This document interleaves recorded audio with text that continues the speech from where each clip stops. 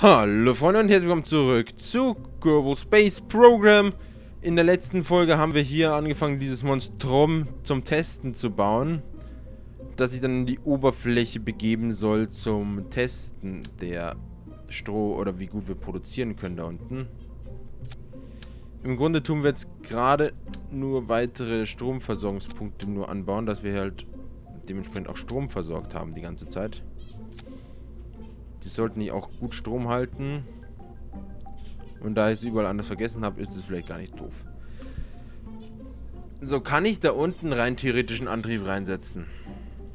Oh lol, ich habe ihr habt gerade das Spiel verlassen. Lol, bin wieder da. Rein theoretisch kann man hier unten ja diesen fetten Antrieb hinsetzen. Aber der bringt sich natürlich nichts. Weil ist kacke.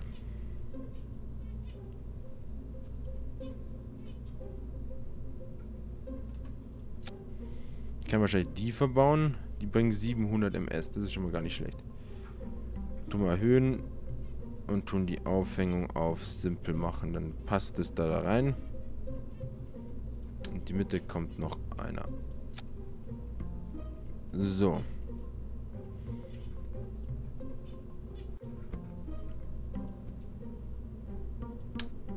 Okay, ich kann die aber alle auch. Okay, gut. So, dann tue ich dich nicht noch ein bisschen in die Höhe verstellen. So. Die haben 700 MS auf jeden Fall. Und wie viel Kraft? 43 SGV. Ja, das reicht ja locker und drei Tage. Schauen wir nochmal, dass irgendwo Liquid und Oxidizer drin ist. Perfekt. Weil dann sollte rein theoretisch das Ding auch so landen können. Dann brauchen wir das oben gar nicht. Das kann höchstens zum Abtransport oder zum Docken von kleinen Satelliten gelten. Schauen wir mal. Aber das Ding soll rein theoretisch selber landen. So. Jetzt hat, hätte ich gerne hier unten ein Separator.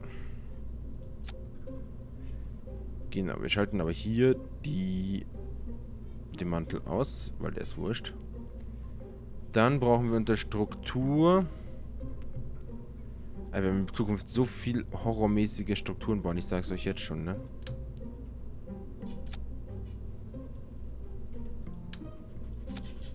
So. Und dann... Oh Gott, wie groß ist denn das Teil eigentlich? Kriegen wir da überhaupt was in der Größe hin? Scheint so. Okay. Die Verpackung steht. Jetzt kommen noch die Struts.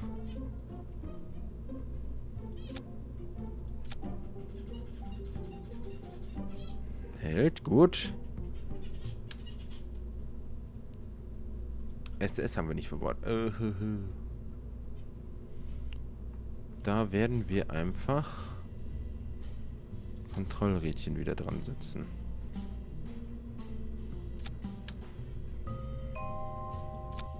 Schaut zwar kacke aus, wie immer, aber interessiert doch keinen.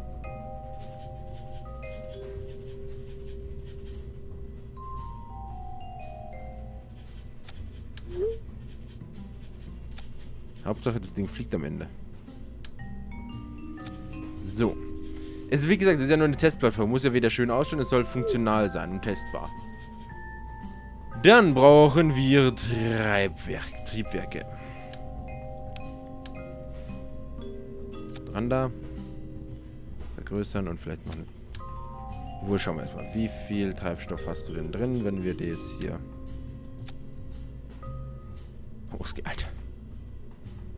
1900 um Minmus rum. Ja, aber Minmus sind wir nicht. Wir fangen bei Körben an. Ah, nee, das wollte ich nicht duplizieren. Aha. 2000, okay. Wir tauschen mal kurz den Antrieb. Wir bauen jetzt einfach nicht in einem massiveren Scale. So. 3700, das passt auf jeden Fall. Dann kriegt es noch Electric dazu. Nochmal eigene Solarpaneele für den Flug. Ne, da tun wir andere verwenden, dann lieber die verpackten.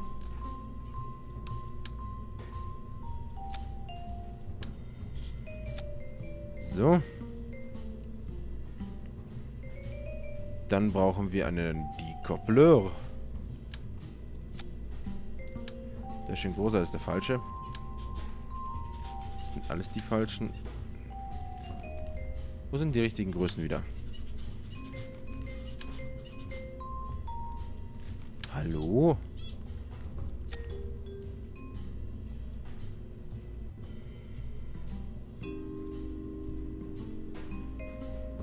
Was ist denn das für ein komisches Teil? So. Und jetzt muss natürlich noch eine fette Rakete drunter. Oh no, no, das war der falsche Angriffspunkt. Oh, fuck. Okay, gut, alles noch dran.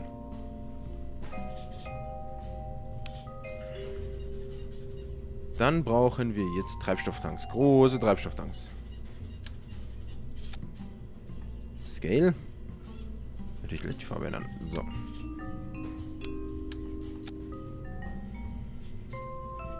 Von der Höhegröße doch ganz gut. So, und dann Triebwerke. Tust du das, wenn ich dich da drunter tue? 2900 MS, aber nicht genug Schub. Dann werden wir dich mal gegen einen aufgepumpten Antrieb von hier aus tauschen. 2,8 mit 1,5. Das wäre doch schon mal genial. Damit sollten wir weit kommen. Antriebsstärke tun wir natürlich auch nochmal. G2 Zündungen, wenn notwendig.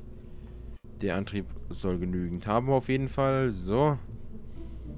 Und dann kommt natürlich nochmal die Kopplung seitlich hin. Die sind zu klein.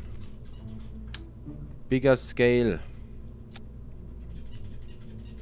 Und dann hochscrollen. Ah ne, warte mal vergesse es jedes Mal, dass die hier drunter sind. Warum bin ich so dumm? Scale. Passt besser.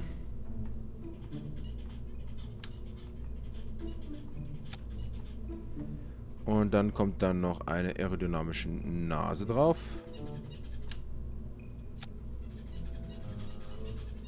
Passt, perfekt. Wie viel Schub haben denn die? Auch genügend eigentlich, aber wir tun beides gleichzeitig zusammenzünden. Dann sind wir schneller unterwegs. Dann tun wir Struktur hier noch dazu.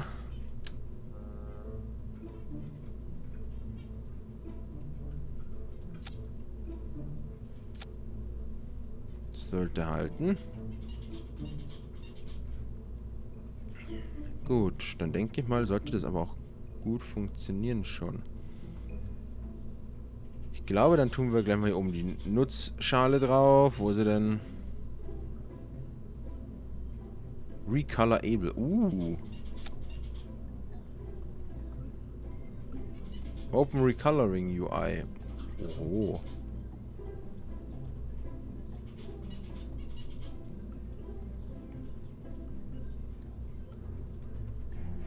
Das finde ich cool. Okay, close. Dann würde ich sagen, das ist die Test Station 1.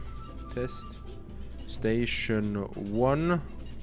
Minmus. Einfach damit wir wissen, was es ist. Ah, lol. Ihr habt mich auch nicht daran erinnert, dass ich vergessen habe, die Dockstation zu machen, dass man tanken kann, notfalls. Äh, und was sind die? Unter was fällt denn die Tanknozzle wieder? Unter was fällt die Tanknozzle? Wir wollen ja tanken können mit dem Teil. Rein theoretisch. Flug. Wenn ich wüsste, zu was das gehört wieder, dann wäre es um einiges schlauer, ne? EVA-Items, sicher doch da. Ne, das ist die Grundstruktur. Körper Attachment, da doch, oder? Ja, hier. Nochmal die Fährungen auf, bitte.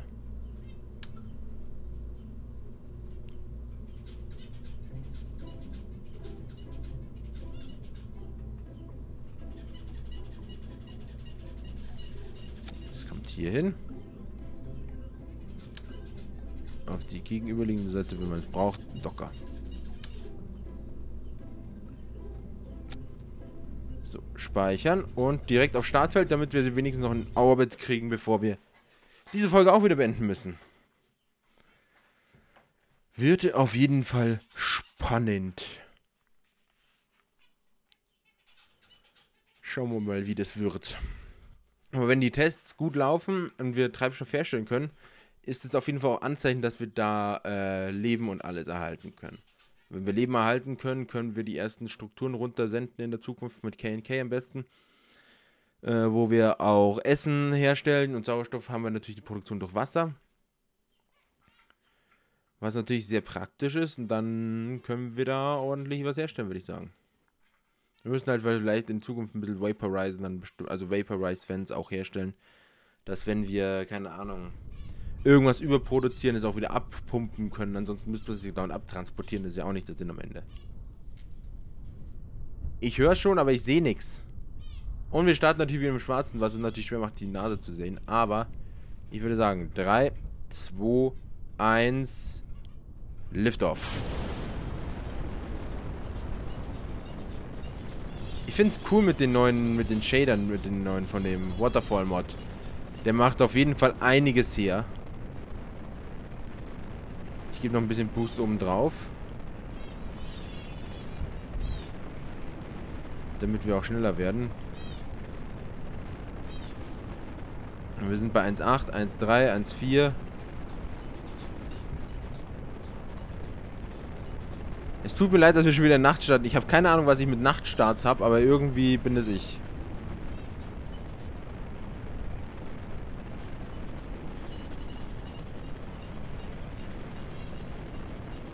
Ich will in Zukunft vielleicht auch ein bisschen die Art des Let's Plays ändern, um ein bisschen mehr Fortschritt zu schaffen. Weil ich baue doch immer ordentlich Zeit dran und das interessiert euch ja weniger. Bedeutet, ich würde schauen, dass wir vielleicht einfach jede Folge sozusagen einen Flug vornehmen. Und ihr nur noch die Flüge und die ganzen Operationen mitkriegt, aber nicht mehr wirklich den Bau. Weil ihr habt es jetzt zum Beispiel jetzt gesehen, das hat mich, mich jetzt zum Beispiel nochmal eine, eine Runde mehr dazu dafür gestimmt, ich baue Ewigkeiten dran. Und dann habt ihr eine Folge, wo wir ein bisschen was starten. Dann die nächste Woche fliegen wir Missionen. Dann bauen wir den wieder in einer Woche. Das ist auch nicht das Ziel. Oh, wir weichen vom Ziel ab. Oh.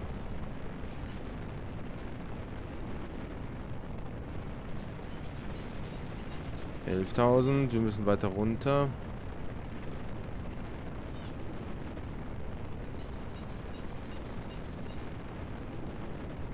So, ja, geht gut.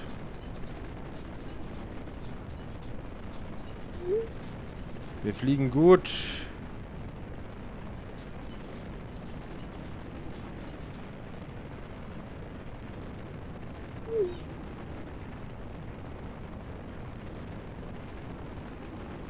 Und da ist die Sonne wieder.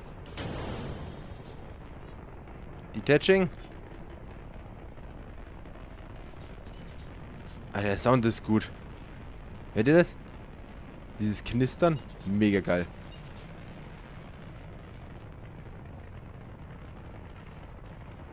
Sind da 25.000 Meter.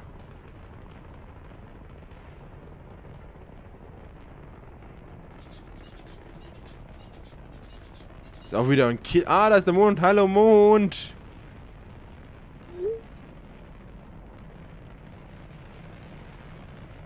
Und wir fliegen in die Sonne rein. Auch, aber ein cooler, cooler Ding. Haben wir auch schon lange nicht mehr gehabt. Ich mag den Sound. Hört ihr das? Das Knacken? wunderschön. Also ich glaube, ich werde auch mal wieder die Sounds für die für alles lauter machen.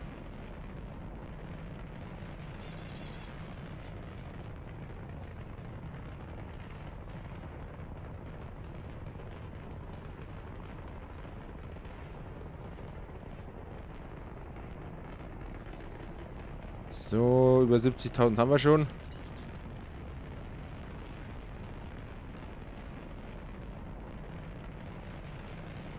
Versucht die First Stage halt wirklich mit einem Schuss hochzuschießen.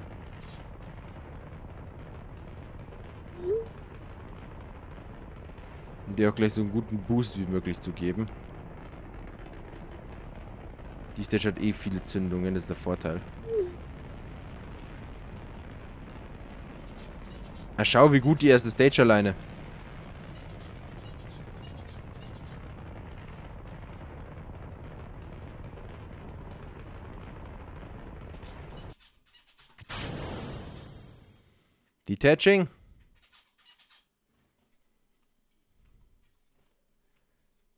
First Stage hat hiermit offiziell Verbindung unterbrochen. Äh, jetzt sieht man nur auf einmal den Schatten. Dann sieht man dieses riesige Gebilde da hinten. Also das da muss erstens in eine Separate Stage und bevor wir abdocken gemacht werden am besten. Und AD Booster. Wir traveln jetzt mal über die Atmosphäre schnell drüber.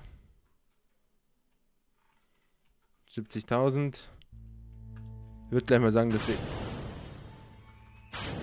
jetzt auch schon mal das hier detachen. Alles weg. Die Solarpaneele ausfahren für den Flug. Der hintere Pack ist wieder nur als Notfall gedacht.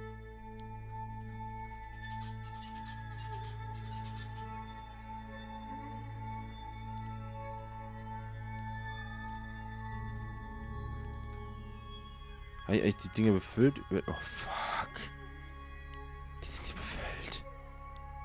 Okay, nee, das werden wir schon irgendwie rauskriegen, weil dann können wir die anderen Tanks als erstes probieren. So. Jetzt geht's zum High Spot. Hier vorspulen. Bye bye, Körben.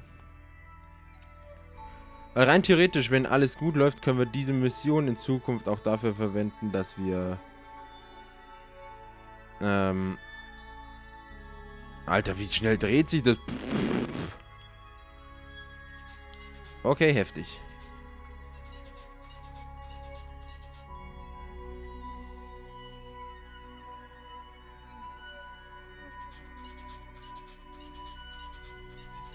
Antenne ausfahren. Wir bringen uns jetzt mal schnell in den Stable Orbit.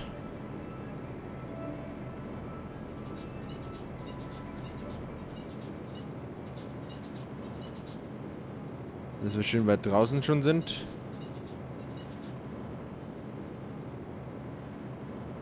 Dreihundert. Wir mal schauen, dass wir auf 400 kommen oder was. 450, das hört sich gut an. Jetzt ist das Teil stabil schon mal. Das kann dann die Prozesse nachher starten. Ah, das wusste ich gar nicht, dass ich das umschalten kann. Das macht natürlich um einiges einfacher. Dann können wir, wenn wir natürlich alles herstellen können, wie Sauerstoff und alles, dann können wir wirklich eine selbsterstellende oder selbsterhaltende Station auch aufbauen. So, aber Leute, wir haben es jetzt im Orbit. Der Weg zu Minmus ist jetzt nicht mehr der weiteste. Und wir sind gut vorbereitet, um die ersten Tests durchzuführen in der nächsten Folge, um dann die ersten Kerbals auch hinzuschicken, um wieder die ersten Testlandungen, ersten Besiedlungen vorzunehmen, dann andocken, Analysesysteme aufbauen, Mining-Systeme. Wir müssen ja viel und viel noch machen. Und ich hoffe, es gefallen. Wenn ja, lasst unbedingt einen Daumen nach oben da. Abonniert, wenn ihr noch nicht habt. Und wir sehen uns in der nächsten Folge wieder. Also, bis dann. Ciao.